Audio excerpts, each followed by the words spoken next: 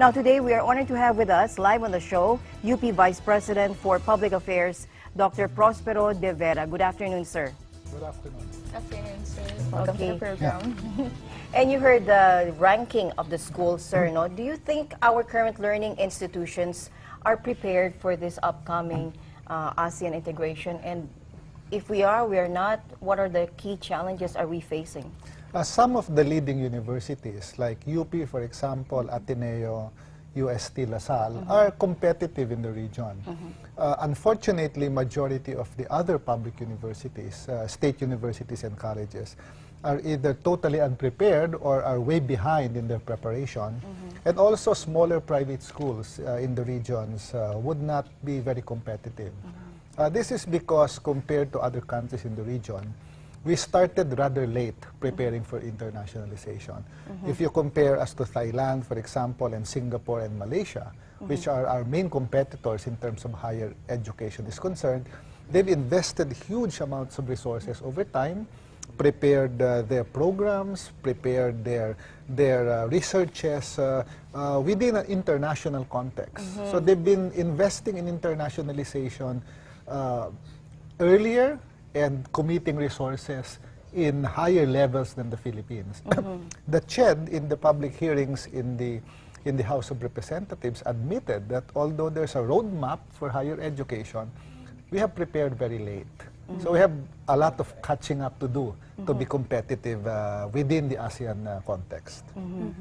But we do have a higher education policy framework, sir, in relation to its uh, ASEAN uh, integration. Yes, there is a higher education roadmap that has been uh, uh, approved by the Commission on Higher Education and approved by the Philippine President. And one of the components there is really internationalization. But remember, CHED uh, deals more with state universities and colleges, the 113 SUCs. And those SUCs are not prepared for internationalization. So uh, the task of CHED is very heavy and very challenging. Yes. Uh, because uh, internationalization will require a lot of funds, a lot of programs, a lot of linkages to be developed. And the levels of public funding on higher education is not as high as what we need. Sir, you've mentioned it's about the SUC, so Yeah. mostly the state universities. But how are the other private sectors, I mean the universities and colleges owned by private individuals will go for this integration? Yeah, the big ones are okay. Uh, there are uh, universities, for example, like College of St. Benilde, uh, which is de- De La Salle University, that is slowly creating a niche for very specialized degree programs. Yeah. Uh, for example, they're going into uh, the hotel and restaurant management programs. They have uh, animation, they have film. These are go- going to be very competitive in the region. That's true. Uh, uh, outside of the more traditional liberal arts, law, medicine, etc. But the smaller public universities, especially those in the region, are not very competitive. Uh, they're realizing it now, and they're trying their best to move fast. We do not know how fast they can move. that is the problem. So that's a challenge. You said uh, internationalization. So should students study an international professional qualification program or something like that in order for us to be, you know, uh, be prepared for this ASEAN integration? The, the requirement in ASEAN integration is to develop an ASEAN, ASEAN program. Uh, each of the member states are expected to develop within their curriculum, within their educational system, an understanding and appreciation of the ASEAN region. Uh, that's part of the ASEAN plan. Uh, many of our universities have not started that, even at this point. Uh, the second, of course, is to develop joint programs within the ASEAN context.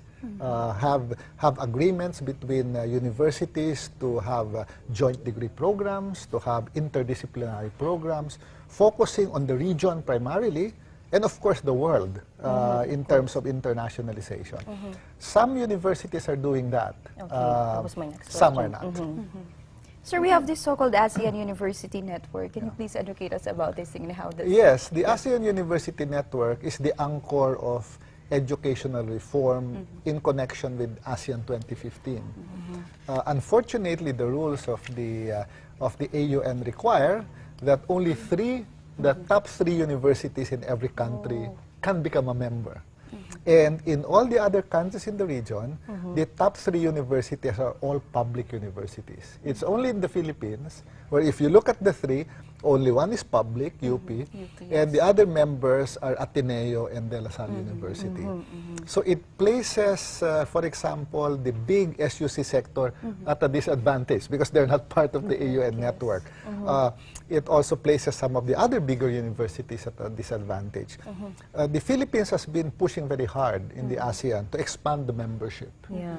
but even without expanding it, it is now the responsibility of UP, Ateneo, and De La Salle University to link up with other universities so that whatever the AUN does in the region, the other universities can also benefit. For example, training university presidents, training, uh, uh, developing the curriculum. The AUN programs, for example, a program can be run by the University of the Philippines and, and capacitate all the other state universities and colleges. Ateneo can do the same.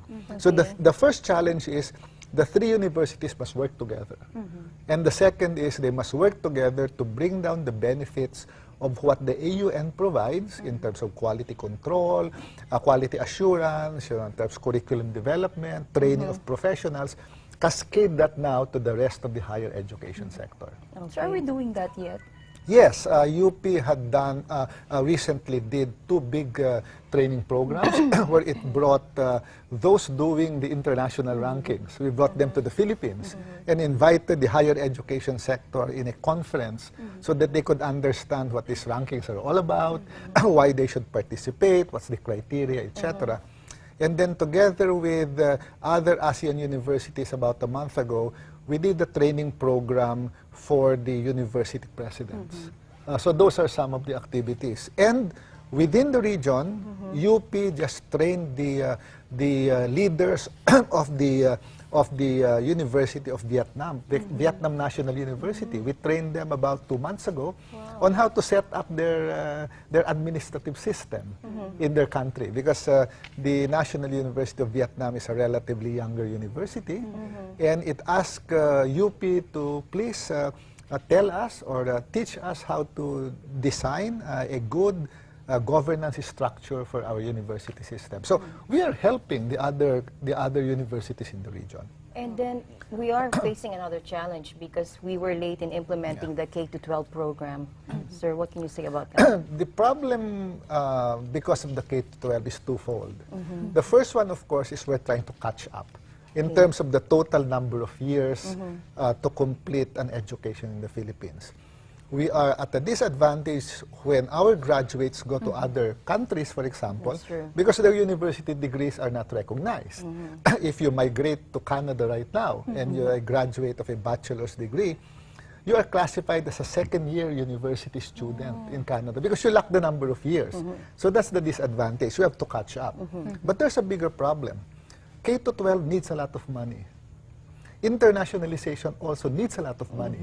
And both ASEAN integration and the full implementation of K to 12 both happen in 2015 and 2016.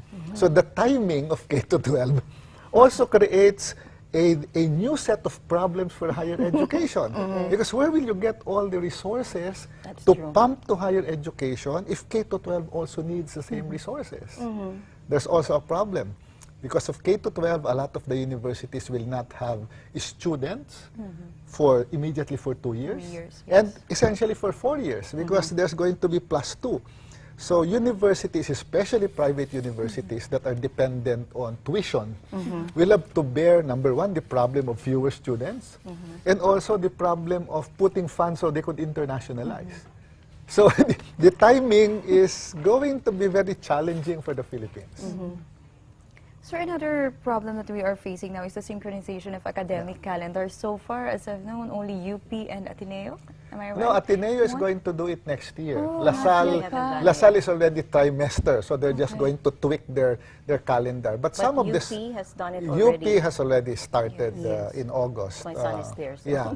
some smaller universities have also shifted their calendar. Oh, Uh, okay. St. Louis University in Baguio, for example, University of the Cordilleras. I think uh, some of the universities in Central Visayas have all, also changed it. Mm-hmm. Uh, I do not really understand all this debate about the shift in calendar. You know, we, we, we wasted so much time and so mm-hmm. much energy Oh, okay. debating on the merits or demerits mm-hmm. in it. Mm-hmm.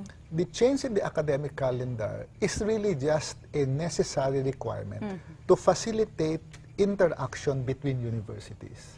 Because we are the only uh, country in the region whose academic calendar is different from the rest. That's true. So how can you form uh, joint programs, exchange of faculty? How can you invite students to come in if your calendar is not the same? That's true. Uh, a student from the Philippines who wants to enroll, for example, in the University Kebangsaan Malaysia in Bangi, will have to forego essentially two semesters because their semester is right in the middle of the two semesters. So he cannot leave if he is enrolled.